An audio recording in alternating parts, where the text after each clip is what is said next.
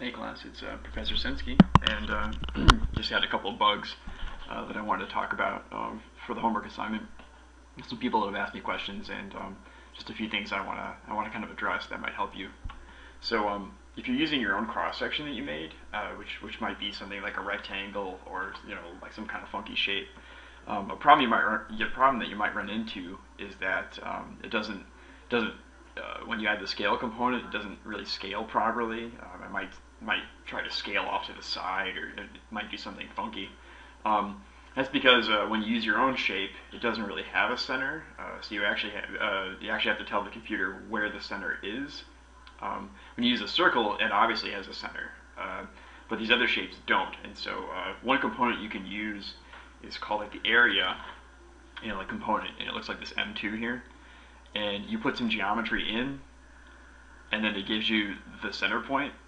So if I look at that, it's just actually this little green point right here, and that works for any kind of uh, flat geometry. Okay, so any geometry you use, you can add this area component, and uh, that's going to give you a center point. and then you you plug that center point into the C um, part of the scale component, and that's going to give you um, a proper scale. And so that's how I, I, was able to take a rectangle that I drew, and then actually uh, use the scale component to add it to my to my sketch. Okay, and that you might want to do that if you're making a more classical kind of column. Um, again, for circles and other geometry that, actually have built-in centers, you don't need this, but um, this, you know, when you use the area component, it's kind of a nice hacky way to uh, find a center. Okay.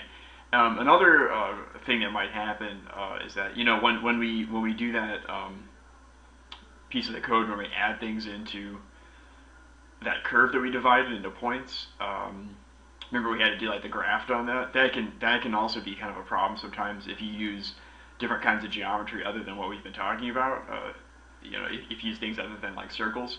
So one one way that I found that uh, works is um, just go ahead and um, make your loft first. Like just make one object, okay, and then you can go ahead and uh, make your curve the way that, the way that I showed you. So we'll take the curve and we'll divide length.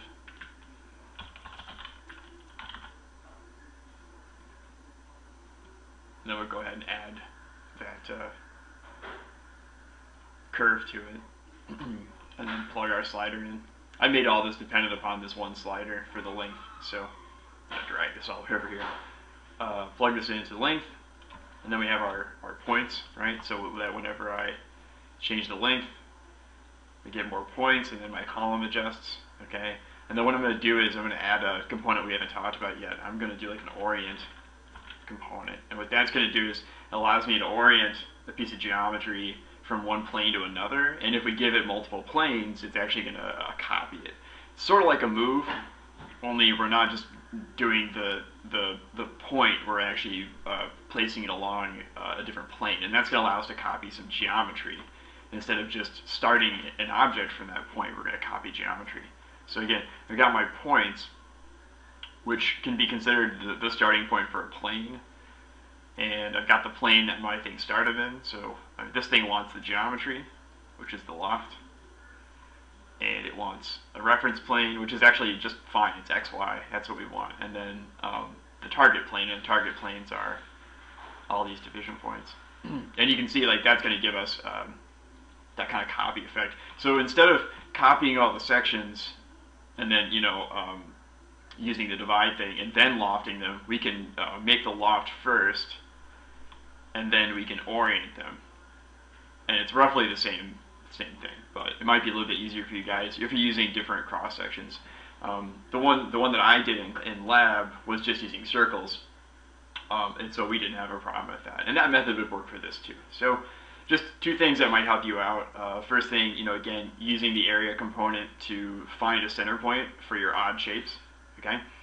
And then two, um, using the orient component to uh, make your copies along a line uh, instead of just grafting uh, your cross sections um, on those points, okay? So two different methods. Uh, hopefully that, that helps uh, answer some problems. Um, you know, this was how I was able to get um, these kind of classical kind of columns and um, you can see that they share the same datum line, but they get thicker uh, as, as you use fewer of them. So that's kind of a nice bit of logic there.